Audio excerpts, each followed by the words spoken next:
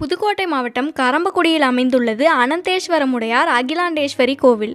இக்கோவில் புதுக்கோட்டையிலிருந்து சுமார் நாற்பது கிலோமீட்டர் தொலைவில் கரம்பக்குடியில் அமைந்துள்ளது. மூலவராக சிவன் அமைந்துள்ள இந்த அனந்தேஸ்வரமுடையார் கோவில் பல நூற்றாண்டுகளை கடந்து நிற்கிறது. இக்கோவில் மன்னர் காலத்தில் முழுவதுமாக அக்காலத்து முறைப்படி செம்மண் கொண்டு கட்டப்பட்டுள்ளது. இக்கோவிலில் ஈசன் அம்பிகை மட்டுமின்றி துர்க்கை காலபைரவர் வள்ளி தெய்வானையுடன் சமேத சுப்பிரமணியர் உள்ளிட்ட பல தெய்வங்களின் ஆலயங்கள் உள்ளன. நூற்றாண்டுகளை கடந்த இக்கோவிலை பல ஆண்டுகளாக பராமரிக்காமல் விட்டதால் தற்போது கோவில் மிகவும் சிதலமடைந்து காணப்படுகிறது.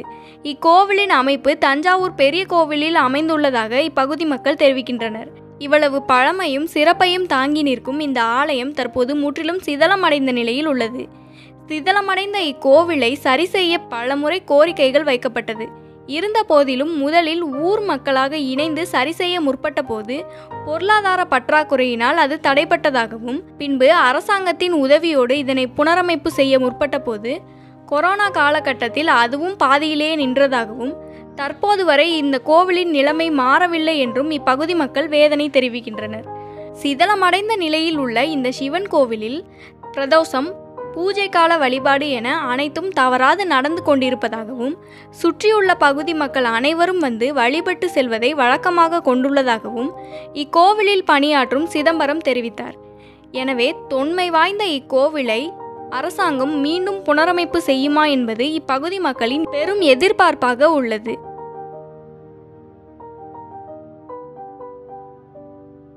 கரம்பக்குடி டவுனு பஞ்சாயத்தில் நான் வந்து காவக்கரது சிவன் கோயில்.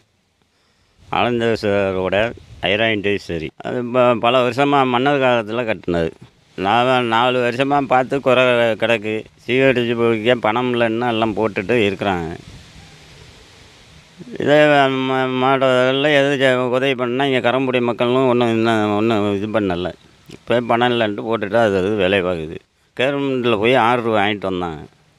ஆர்டர் வாங்கி வந்து பார்த்தாங்க அதோட போட்டாங்க. கொரோனா வருஷத்தில் இருந்து கிடக்கு.